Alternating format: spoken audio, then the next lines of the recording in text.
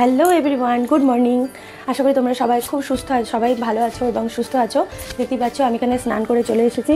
আর তার কারণ হলো আমাদের আজকে একটা গেট টুগেদার আছে সেটা অ্যাটেন্ড করার জন্য। তো, এবার যেহেতু আমি রেডি হব, সেজন্য ভাবলাম এই ভিডিওটা একটা ভিডিও বানানো যাক। আর সেটা আমি তোমাদের সাথে শেয়ার করব। তাই জন্য আমি একটা get ready with me shoot করতে চলেছি। আর আশা করি ভিডিওটা তোমাদের ভালো লাগবে। যদি ভালো লেগে থাকে প্লিজ লাইক করো আর আমার চ্যানেলটাকে সাবস্ক্রাইব করো। আর বাই দ্য ওয়ে আমি তোমাদের বলে রাখি, যারা আমার চ্যানেলে ফার্স্ট টাইম এসেছ, তাদের জন্য বলে রাখি হাই আমি দেবা। আর আমি এখানে makeup tutorial blogs and recipe সব কিছুই করে থাকি। যদি আমার চ্যানেলটা ভালো লেগে থাকে তাহলে প্লিজ আমার চ্যানেলটাকে সাবস্ক্রাইব করো, আমার ভিডিওগুলো লাইক করো অ্যান্ড প্রচুর প্রচুর শেয়ার করো তোমার ফ্রেন্ডস ফ্যামিলির সাথে। তো চলো, বেশি কথা না বাড়িয়ে দেখে নিই আমরা ভিডিওটাতে। চলে যাই, কীভাবে আমি পুরো মেকআপটা করলাম সেটাই তোমাদের সাথে শেয়ার করব। তবে আজ আমি যে শাড়িটা পরবো, সেটা আমি দুরকমভাবে তোমরা পেয়ার আপ করতে পারো সিলভার জুয়েলারি আর গোল্ড জুয়েলারির সাথে। আমি আজ যেটা ক্যারি করব সেটা গোল্ড জুয়েলারি আর, তবে আমি কিন্তু তোমাদেরকে ভিডিওতে দেখিয়ে দেবো কীভাবে সিলভার জুয়েলারির সাথে তোমরা পেয়ার আপ করতে পারো। তো চলো, বেশি কথা না বাড়িয়ে ভিডিওটা শুরু করা যাক।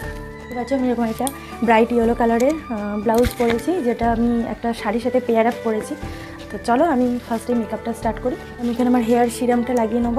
এটা হচ্ছে স্ট্রিটসের হেয়ার সিরাম আমার হাতে এইভাবে জাস্ট রাব করব।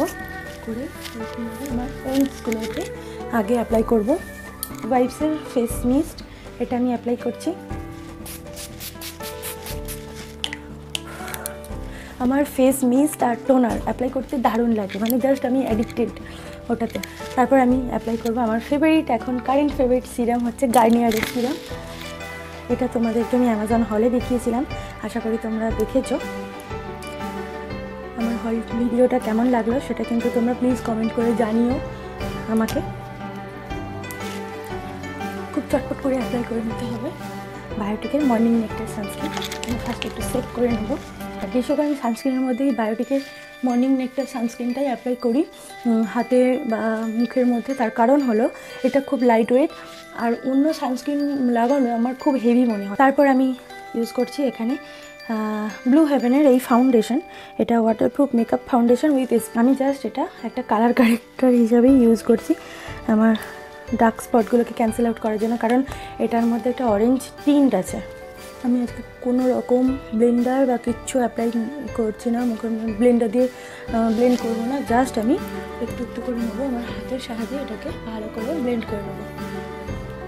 চলে এসেছি আবার নেক্সট স্টেপে সেটা হলো ক্রিম কন্ট্রোল আমি একটু ক্রিম কন্ট্রোল অ্যাপ্লাই করব, দেখো।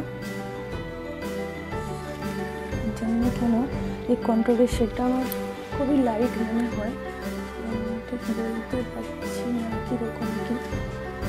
এটা Hilary Hilary Rhoda V face control stick এটা ছাড়াও আমার কাছে আছে এই যে অ্যানাস্থেসিয়ার এই কন্ট্রোল প্যালেটটা দেখছি, এটা থেকে এটার একটা ডার্কার শেড আছে। তো আমি সেটাই একবার অ্যাপ্লাই করে দেখি। আমি জাস্ট আমার আঙুলের সাহায্যে এরকম করে নিয়ে নিয়েছি দেখো, খুবই পিগমেন্টেড একটা শেড খুবই হালকা হাতে অ্যাপ্লাই করতে হবে। দেখতেই পাচ্ছ। এটা ব্লেন্ড করার জন্য আমি আমার ব্লেন্ডারটা ইউজ করব। এরকমভাবে ডেপ ডেপ ডেপ ডেপ করে। চলো, এরপরে আমি কী করব? আমার এই মেবলিনের আমার ফেভারিট কম্প্যাক্টটা দিয়ে আমার মুখটা পুরোটা পাউডার করে নেব। ফার্স্টে আমি করব, এখান থেকে স্টার্ট করব আমার চোখের নিচে থেকে এরকম জাস্ট ড্যাব ড্যাব করে।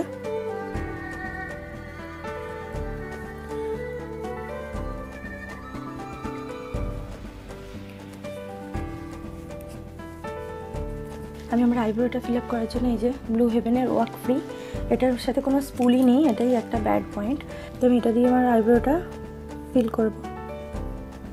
খুবই হালকা হাতে, আর এটা অ্যাস কালারের মানে গ্রে গ্রেইস টাইপের কালারটা দেখো, আমি আমার আইব্রো দুটো খুব সুন্দরভাবে ড্র করে নিয়েছি।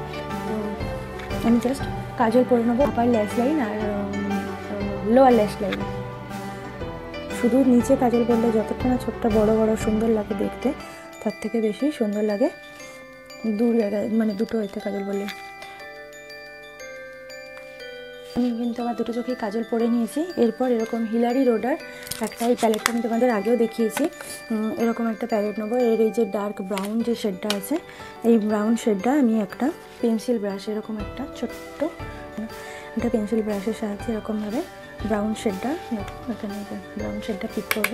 নিয়ে আমি আমার লোয়ার ল্যাশ লাইনটাকে একটু স্মাচ করে নেব, যাতে আমার কাজলটা আমি সারাদিন পরে থাকলেও কোনোভাবে ঘেঁটে না যায়।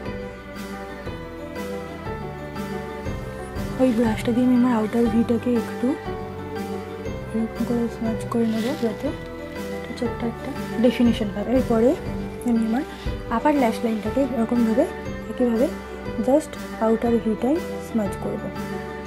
আমি তার সাথে সাথেই এই ব্রাউন শেডটা দিয়ে এরকম একটা অ্যাঙ্গুলার ফ্ল্যাপি ব্রাশ নিয়ে ব্রাশে করে নেব। নিয়ে এক্সেসিভটা ডাস্ট অফ করব। করে জাস্ট একটা জাস্ট একটা শেপ দেওয়ার জন্য ব্রাউন শেডটা নিয়ে একটু আউটার ভিটা একটু পয়েন্ট করে জাস্ট ইনার কর্নারের দিকে হালকা হাতে ব্লেন্ড করে নেব। আবার এই চোখে তো সেম প্রসেস এরপর আমি কন্ট্রোল হয়ে গেছে। এরপর ব্লাশ ব্লাশের দিকে চলে যাব।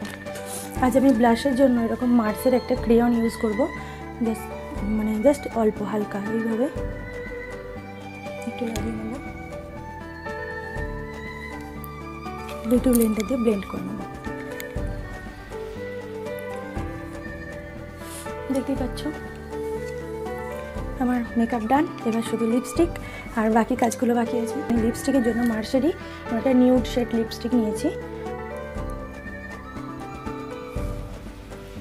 দেখতেই পাচ্ছ, এটা একটা ব্রাউন টোন লিপস্টিক এবার আমি মাস্কারা আর হাইলাইটারটা লাগিয়ে নিই, তারপর তোমাদের সাথে আমি পুরো ফুল লুকটা নিয়ে আসব।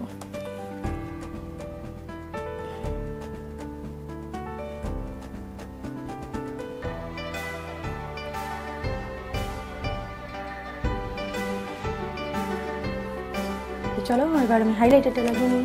হাইলাইটারটা লাগানোর জন্য আমি যে ফেস প্যালেটটা মানে যেটা থেকে ব্রাউন শেডটা ইউজ করলাম হিলারি রোডার আমি ওই প্যালেটটা থেকেই।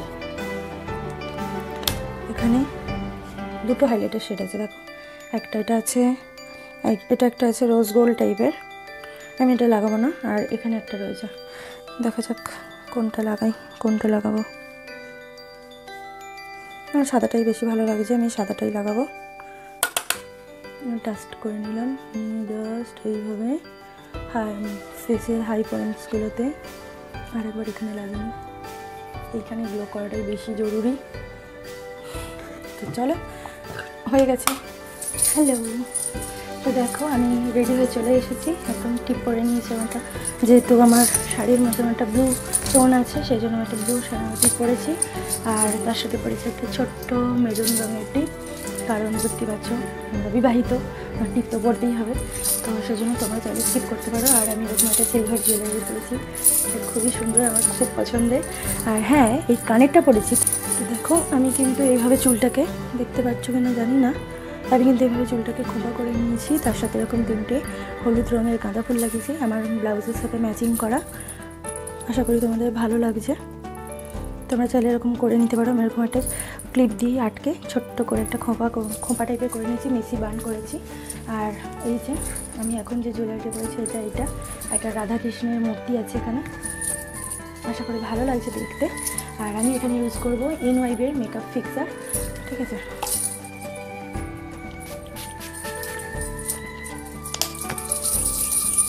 তোমরা চাইলে এরকমভাবেও সাজতে পারো। তাছাড়া তোমরা এইভাবেও সাজতে পারো। দেখো, আমি এইভাবে হাতের চুড়িগুলো চেঞ্জ করে নিয়েছি চুড়িটা, আর এটার সাথে এই চুড়িটা করেছি কালারিং একটা। এটার মধ্যে সব কালারের চুড়ি রয়েছে, আর সব কিছু ড্রেসের সাথে যাবে, আর এরকমভাবে চুড়িটা করে রেখেছি এই হলো আমার ফাইনাল লুক আশা করি আমার এই গেট রেডি উইথ মিটা তোমাদের ভালো লেগেছে। যদি ভালো লেগে থাকে প্লিজ আমার ভিডিওটাকে লাইক করে দিও, আমার চ্যানেলটাকে সাবস্ক্রাইব করো, আর আশা করি ভালো লাগছে। চলো, দেখা হচ্ছে। তো চলো, দেখা হচ্ছে আবার নেক্সট ভিডিওতে ততক্ষণ তোমরা সবাই খুব ভালো থেকো, খুব সুস্থ, সবাই সুস্থ থেকো, খুব ভালো থেকো। ভগবান তোমাদের সবাইকে ভালো রাখো অ্যান্ড টাটা বাই বাই